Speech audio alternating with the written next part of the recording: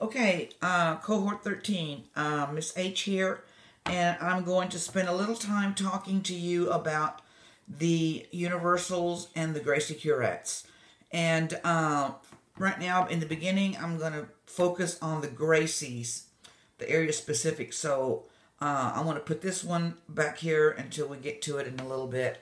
So I'm going to start with uh, the 1, 2, the 11, 12, the 13, 14.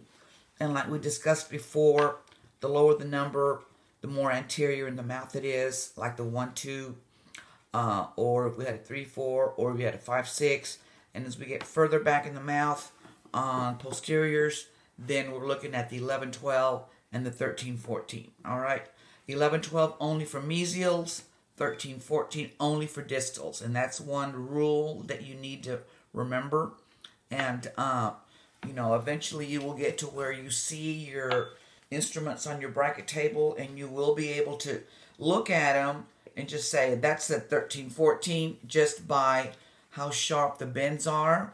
Uh, and, you know, once you pick it up in your hand and you, you know, confirm that that's it, then your next step is going to be to find your correct cutting edge.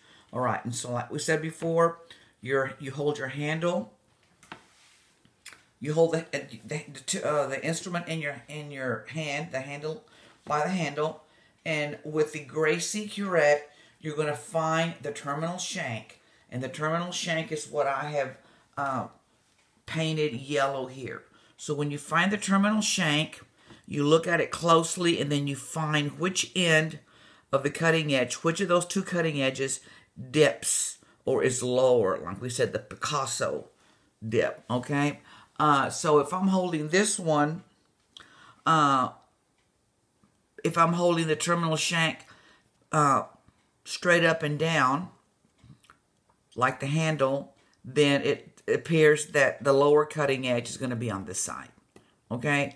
So when you put the correct cutting edge, then your terminal shank is always going to be parallel to the surface that you're on, okay? So I'm going to start with um, the 1-2 because we're going to use that on anteriors. And then here's our anterior tooth, and here's my midline, and I'm going to be going surfaces away. So I'm going to find my correct cutting edge by looking at it, holding it here in front of me like this, and then I find the, the I find the the uh, cutting edge that tilts down. Okay, so I'm going to place the lower one third on the midline, and I'm going to insert it subgingivally. I'm going to tilt the handle and go up into the sulcus at a zero degrees, and then I'm going to stand up on my fulcrum, and of course I'm my fingers on here right now for the purpose of demonstration, but ideally you don't ever fulcrum on the same tooth that you're working on for fear of, you know, instrumenting yourself or cutting, you're traumatizing yourself. So, but for the purpose of this, I'm just doing it so I can show you how this works. So we're going to tilt the handle, insert it into the sulcus at zero degrees, stand up my terminal shank, with the lower one-third end. And then we're going to be pivoting and rocking and getting and rolling so that that terminal shank always stays parallel. If that terminal shank were to come this way, it's incorrect angulation causing trauma. If it goes this way or if it comes this way.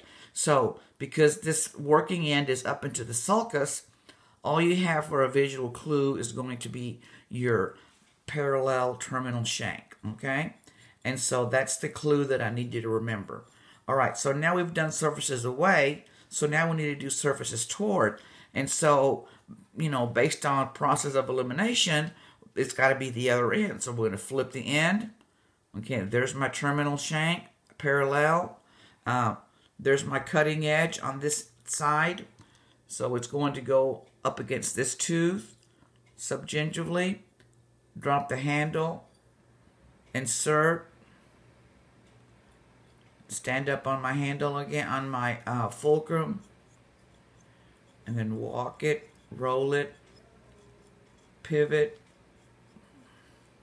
Nothing's moving. All my hand is, all my fingers are moving together as a unit. There is no finger, there's no separation.